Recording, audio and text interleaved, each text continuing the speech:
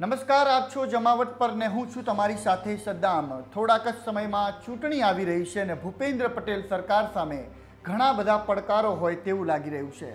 એક તરફ રાજનીતિક પાર્ટીઓ, તો બીજી તરફ વણથંભ્યા આંદોલનો. એટલે જ હવે સરકાર સતર્ક થઈ ગઈ છે.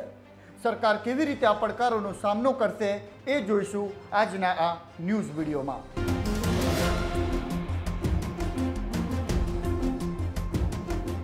ગુજરાત સરકારે વિવિધ આંદોલનોના હલ માટે પાંચ મંત્રીઓની કમિટી બનાવી છે.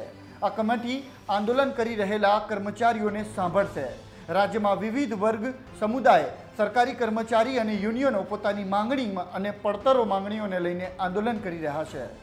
સૌથી પહેલાં તમને જણાવી દઈએ કે કયા કયા આંદોલનો સરકાર માટે માથાનો દુખાવો બની રહ્યા છે. છેલ્લા ઘણા સમયથી રાજ્યના માજી સૈનિકો આંદોલન કરી રહ્યા છે. અમુક માંગો તો સ્વીકારાઈ છે, પણ હજુ ઘણા બધા મુદ્દાઓ બાકી છે. પોલીસ કર્મચારીઓનો પગાર વધ્યો છે, પણ ભથ્થા, ગ્રેડ પે બધું વધારવાની માંગણી યથાવત છે. તલાટી કમ મંત્રીઓ આંદોલન કરી રહ્યા છે, કૃષિ વીજ જોડાણમાં મીટર પ્રથા બંધ કરવાની કિસાન સંઘ માંગ કરી રહ્યું છે. ફિમેલ હેલ્થ વર્કર તથા ફિમેલ સુપરવાઇઝર સહિતના આરોગ્ય કર્મીઓ પણ આંદોલન કરી રહ્યા છે. તેમના આવેદનપત્રો સ્વીકારવાની તસદી પણ કોઈ નથી લેતું. વીસીના લોકો પણ કમિશનના બદલે પગાર ધોરણ માટેની લડત ચલાવી રહ્યા છે. વેટરનિટી તબીબોની હડતાલનો પણ હાલમાં જ અંત આવ્યો છે. સરકારની કમિટીએ સ્ટાઇપેન્ડ વધારવાની માંગ કરી છે. લેખિતની રાહ જોવાઈ રહી છે. રાજ્યના આરોગ્ય કર્મચારીઓ પણ કહી રહ્યા છે કે એમને સરકાર પર ભરોસો નથી. સરકાર પોતાના ઘર એવા ગાંધીનગરમાં જ દરરોજ ઘેરાઈ રહી છે. અને એટલે જ આ વાતનું રાજકીય નુકસાન ના થાય એ માટે સરકારે પોતાના પાંચ મંત્રીઓની કમિટી તૈયાર કરી છે.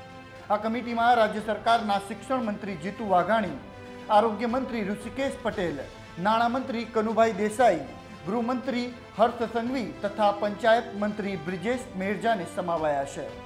આ સભ્યો રાજ્ય સરકારના કર્મચારી સંગઠનો સાથે ચર્ચા કરીને તમામ આંદોલનોને ઠારવાનો પ્રયત્ન કરશે.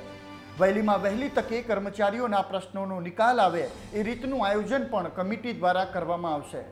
એ હેતુસર આ કમિટી નક્કી કરાઈ છે, ન માત્ર સરકારી કર્મચારીઓ, પરંતુ અનેક એવા સામાજિક સંગઠનો પણ છે જે સરકારની સામે પડ્યા છે.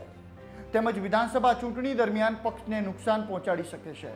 હવે વાત પોલીસ કર્મચારીઓના પગાર વધારાની પણ કરી લઈએ તો એક રીતે રાજ્ય સરકાર માટે સૌથી ગંભીર બનવા જઈ રહેલો પ્રશ્ન ગૃહ રાજ્યમંત્રી હર્ષ સંઘવી ઠારી શક્યા છે.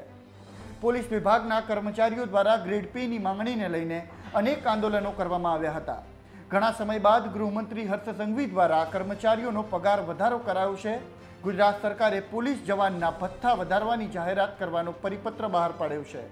જ્યારે પોલીસ પરિવારની મૂળ માંગણી ગ્રેડ પે વધારવાની હતી. ભથ્થા વધવાથી ફિક્સ પગાર સેવા આપતા જવાનોનો પગાર ત્રણ હજાર પાંચસો રૂપિયા વધી જશે.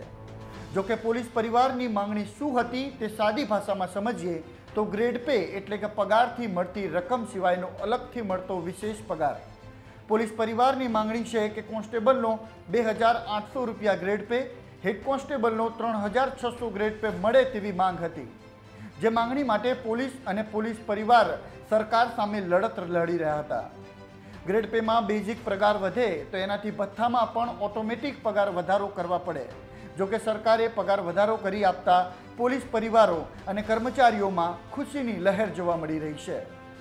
હવે બાકીના બધા મુદ્દા કમિટી સોલ્વ કરશે કે કોણીએ ગોળ લગાવશે એ સવાલ લોકોના મનમાં ઉદ્ભવી રહ્યો છે. મુદ્દાઓના નિરાકરણની અપેક્ષા સાથે જમાવટમાં અત્યારે બસ આટલું જ. અમારા વિડીયોને લઈને તમારું કોઈ સૂચન હોય તો કોમેન્ટ કરીને અમને કહેતા રહેજો, જેથી અમે તેને સુધારી શકીએ તમારા સહકારની અપેક્ષા સાથે. નમસ્કાર.